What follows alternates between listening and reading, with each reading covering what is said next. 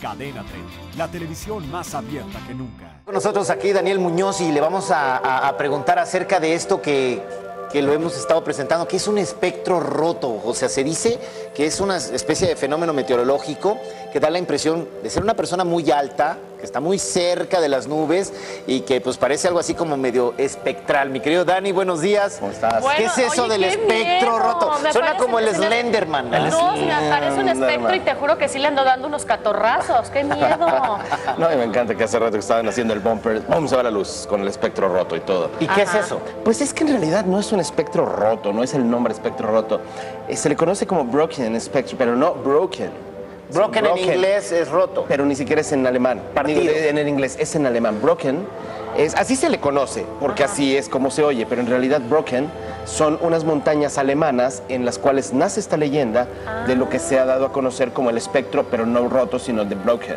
Es una cuestión que nace en Alemania en los años 20, 23 por la precisión, y es la historia de una persona que falleció, que muere en una montaña. Él vivía en la montaña, no era alpinista ni nada, él vivía ahí. Y Como pues, un ermitaño. Sí, exacto, se despeña. Y entonces. Ah, cae en un las- accidente. Exacto, las personas que empezaron a trabajar con pues, su búsqueda y todo, empezaron a hacer fotografías porque era una zona muy, muy nevada, es una zona en la cual prácticamente siempre está cubierto de nubes. Y entonces empezaron haciendo las fotografías y empezaron a pasar, como estas precisamente, como estas montañas. Ajá, y entonces, bueno, empezaron a surgir fotografías como estas que estás viendo aquí, que ustedes están viendo en casa. Ay. Esas fotografías han dado la vuelta al mundo desde pues, los años 20, 30, pero no es una- un fenómeno tan conocido. Lo que es más interesante es que este hombre, que ahora no me acuerdo, Mac, McDougall, algo así se llamaba, francamente no recuerdo el nombre, pero que es muy simpático porque en el mismo lugar donde él vivía se da a conocer un fenómeno también que es eh, pues como el del abominable hombre de las nieves, el Yeti, pero escocés, porque estamos hablando primero de Escocia, donde se empezó a repetir este fenómeno, a pesar de que originalmente sucede en Alemania. ¿Qué es lo que realmente estamos viendo? Bueno, esas fotografías que son muy bonitas, efectivamente, para mí lo más eh, sorprendente son esos arcoíris que empiezan a tener forma ya circular, si se dan cuenta. Un- no es un arcoíris formalmente, sino es ya Ahí casi está un ya casi círculo círculo, completo. sí. Bueno, aquí hay que decepcionar a muchos, pero hay que alentar a otros. ¿Por qué? Porque, uno, ahí está esa forma de hacerlo y esa forma que esa persona está asumiendo, si tú fotografías y esta persona está entre los rayos del sol y las nubes, por la cuestión de la refracción de la humedad, eso es lo que genera. Y efectivamente se dice que es el jet y por ahí hay algunas fotos que Nada más aparece allá, en, en Alemania. O sea, aparece Por la por, no, mundo. la es que es atmosférica. interesante. Yo he ido en aviones, he volado sobre Italia, sobre cualquier lugar que tú vayas, que haya nubes. Si tú tomas una foto al avión y tú puedes ver la sombra del avión, va a aparecer, de hecho ahí pu- pudimos ver una de las fotos que tanto pasaron por ahí, en realidad no es esa persona con los brazos abiertos, sino la fotografía de un avión que se crea alrededor ese... Es un yo- yo fenómeno le llamo natural atmosférico. iris, totalmente. O sea, que todas las fotografías que hemos estado viendo son, Son personas fenómenos. reales. Exacto, Es- salvo es la una. proyección de sombra de Así una es, persona real. Salvo una que es la de un avión. A ver si la podemos ver. Estas son las montañas donde nace esta leyenda, las montañas Brocken, precisamente en Alemania.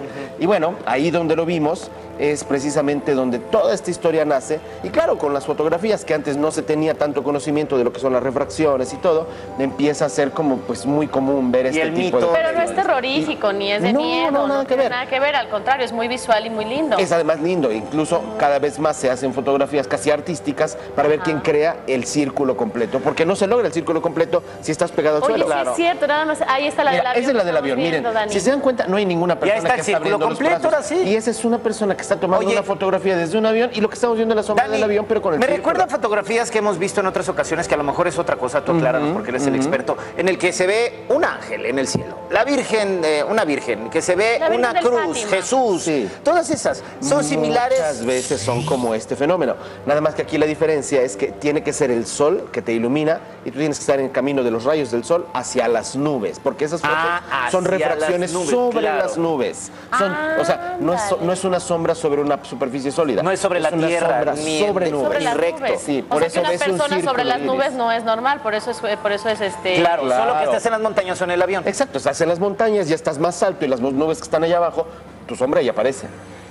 Y te tomas la foto. ese es el punto. Entonces, espectro, nada, no existe ningún espectro ahí. Estamos hablando de algo que es súper común, pero que curiosamente, yo no sé si tengamos, ojalá que sí, por ahí algunas de las imágenes de estos famosos jet y hombres de las nieves que pues aparecen por ahí precisamente en Escocia y que bueno, no es un fenómeno desconocido, pero sí son como muy interesantes. Mira eso. Esos pues son algunas Uy, supuestas fotos y, y si se dan cuenta no tiene absolutamente nada que ver, nada con lo que es el Spectre, el Broken ¿Qué es este? El- Sí, exactamente. Entonces, ahí podemos comparar. Y una cosa es una sombra que nada, nada tiene que ver con arcoíris y otra muy diferente, lo que estamos viendo aquí, que es este, pues este bicho. Pero esta no es foto, ¿ah? Claro, esta no es foto. Esta es una, Una ilustración. Exacto, una a ilustración. lápiz.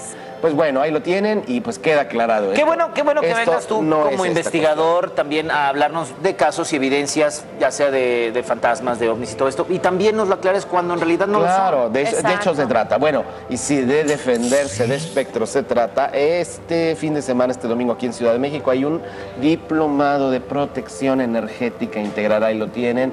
Es en nuestro centro Aliento de Vida, ahí por la Basílica de Guadalupe. Hay lugar, es para todos, es el Aquí en el segundo DF. módulo. sí. ¿Cuándo dijiste que es? Este domingo. Es Ah, este ya este domingo, domingo. ¿Y qué es lo precisamente que vamos a las 11. escuchar ahí, mi Dani? Protección. Vas a aprender a manejar tus energías. Vas a aprender si alguien viene y te quiere así como que tiene ganas como de, De molestar. molestarte y todo. Vas a aprender a simplemente darle la vuelta. No darle la vuelta que te das, sino a que darle la vuelta, literalmente. Que la energía se le regrese. Y que lo pones en el suelo sin tocarlo. Pues sin eso, eso siquiera es lo que dicen tocarlo. de la brujería, ¿no? Normalmente cuando ¿Y alguien te echa tal? brujería se supone que se le regresa Pero qué tal al si lo haces conscientemente y con todas tus herramientas. Lo interesante es que te puedes defender y hay muchas formas. Ahí lo tienen en espacioalternativo.tv. Mi página está toda la información. Es este domingo, hay lugar para todos. ¿En dónde dices que es? Eh, allá se llama Centro Aliento de Vida por la Basílica Por de la Guadalupe. Basílica de Guadalupe, sí, en espacioalternativo.tv. Tú fuiste, creo que por ahí. Eh, no, al tú que yo al fui sur. fue al sur, Bueno, allá sur, allá qué día nos toca. Oye, ¿no? tienes Claro que invitados sí, amigo. especiales porque normalmente tienes este especialistas como tú, tu esposa y, y Sí, están hablando de otras cosas. Sí, ahora pues bueno, los invitados especiales van a ser ustedes que vayan. Me dará mucho gusto porque ustedes van a compartir sus experiencias y son ustedes los que hacen el taller. Genial, mi querido. Hola, soy Marta Figueroa. Los invito a que vean nuestro día y a que se suscriban a nuestro canal de YouTube.